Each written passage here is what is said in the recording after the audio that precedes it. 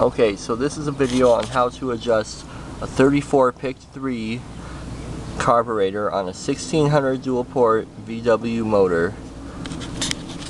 First off, once you've got the carburetor all rebuilt and put back together and cleaned up and you know that everything else is good, um, you want to start with the two screws on the left hand side of the carburetor the two screws right here on the side and you want to go all the way in all the way in lightly carefully. You don't want to go too hard because you'll strip out the threads.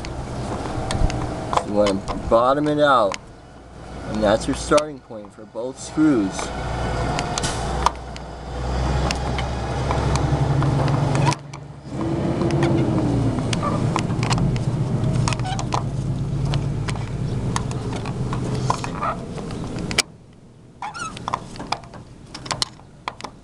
Alright, we've hit bottom. Now you want to come two and a half turns for both screws. Two and a half turns out. That's a half, one,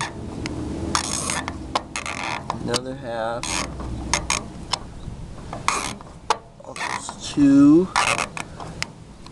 now two and a half turns out. And you want to do the same with the little screw. I'm not going to do it right now, it's already set.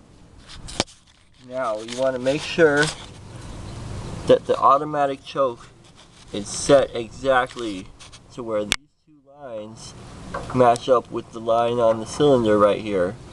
You want to make sure that those lines match up. If they're off, it's not going to run right and it won't it won't work. It might work, but it's not going to be good. Okay, well that's about it for now. Thanks for watching.